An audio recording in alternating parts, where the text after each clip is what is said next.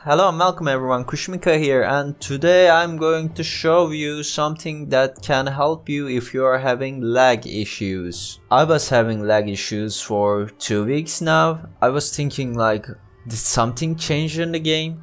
If something was bad with my internet connection. But you know, some games it doesn't have any problem, but some games it just just goes laggy out of nowhere. So I looked it up and it was this thing in the options regions section.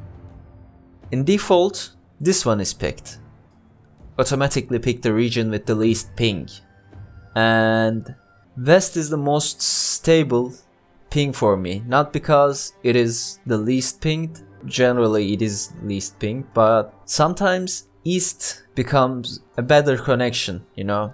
It drops to 70 pings or so, but when this happens and this option is chosen, game just changes the server and I got laggy out of nowhere. So if you can pick the one with the most stable ping here, for me it is EU West and this is locked on. Now it won't change the servers even if some other server has better ping. So you won't get any lag issues. This solved my problem. I hope if you having the lag problem, it will solve yours too.